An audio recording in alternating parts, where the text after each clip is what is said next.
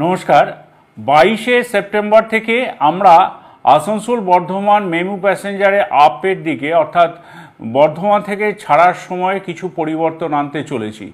এই ট্রেন নাম্বারগুলি হলো zero three five two nine, zero three five three one, zero three five three five, zero three five one three, zero three five one five, zero three five three seven, zero three five four seven.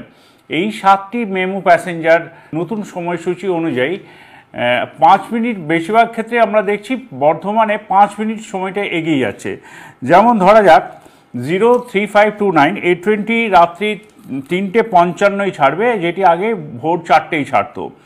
অপর একটি train, যেটি অনেক মানুষ আসানসোলের দিকে আসেন এই ট্রেনটি করে, সেটি হলো zero three five three one, সেটি এতদিন পাঁচটা কুড়িতে ছাড়তো, সেটি বর্ধমান থেকে ছাড়বে পাঁচটা পনেরোই আর zero three five three five যেটি এতদিন আটটা দশে বর্ধমান থেকে ছেড়ে আসতো, সেটি এবার থেকে ছাড়বে আটটা পাঁচে বর্ধমান থেকে।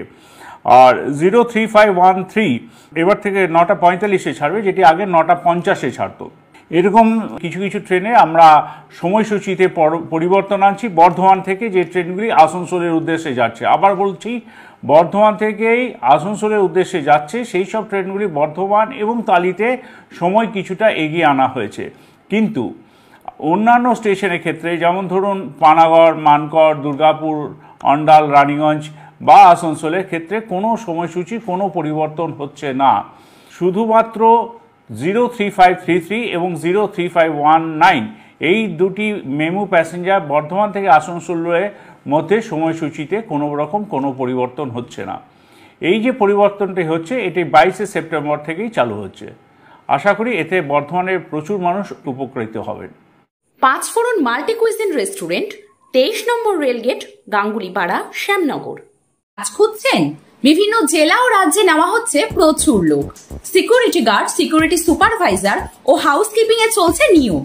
আজই যোগাযোগ করুন বালাজি ইনভেস্টিগেশন সিকিউরিটি আপনার কাজের সঠিক ঠিকানা।